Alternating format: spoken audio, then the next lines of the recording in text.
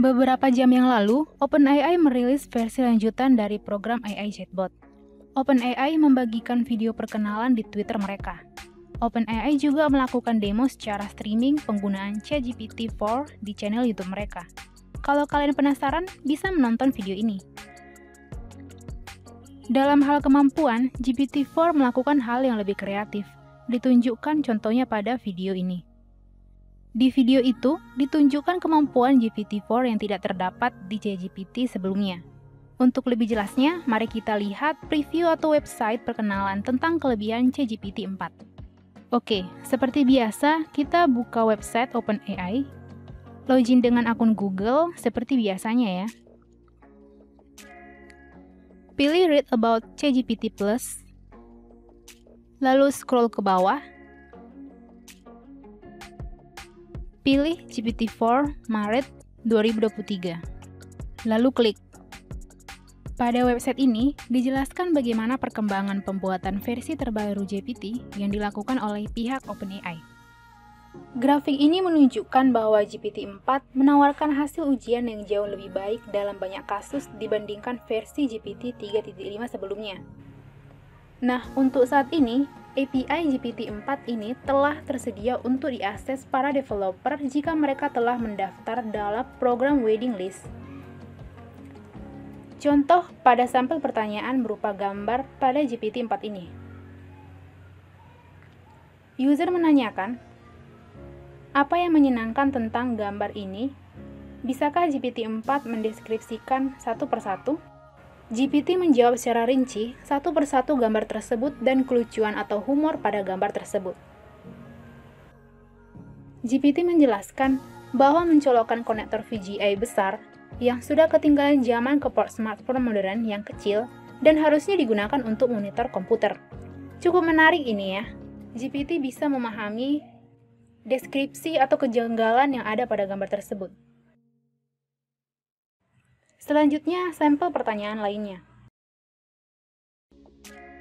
User memberikan pertanyaan, temukanlah jumlah rata-rata konsumsi daging harian di Georgia dan Western Asia dalam bentuk diagram batang seperti gambar ini.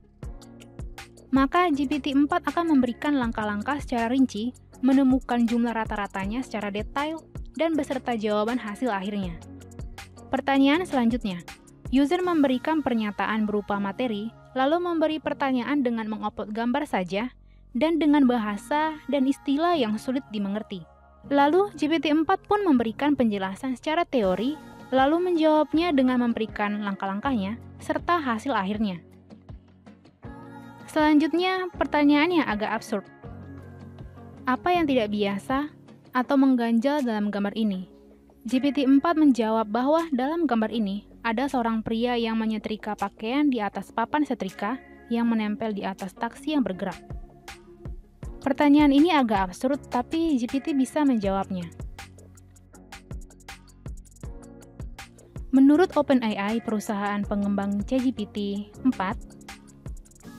ChatGPT versi terbaru ini memiliki sejumlah kelebihan yaitu kemampuan penalaran yang lebih baik, kemampuan memahami instruksi yang lebih kompleks dan lebih kreatif.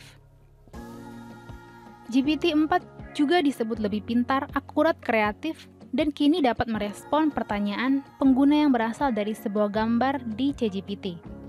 Misalnya, jika pengguna bertanya tentang sebuah ide resep makanan, menggunakan suatu gambar yang memuat telur, terigu, susu dan mentega di dalamnya, Misalnya, GPT-4 bisa memberikan respon tentang makanan yang bisa dibuat oleh bahan-bahan tersebut.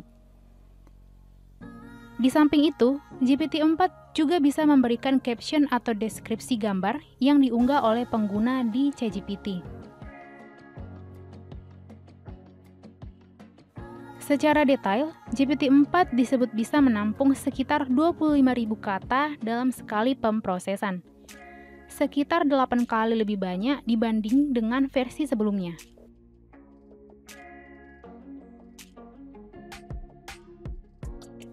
GPT juga akan berkolaborasi dengan beberapa platform atau organisasi yang akan ditanami chatbot GPT seperti Duolingo, men-scanning produk, dokumen, atau beberapa bidang lainnya yang dapat membantu kehidupan sehari-hari manusia.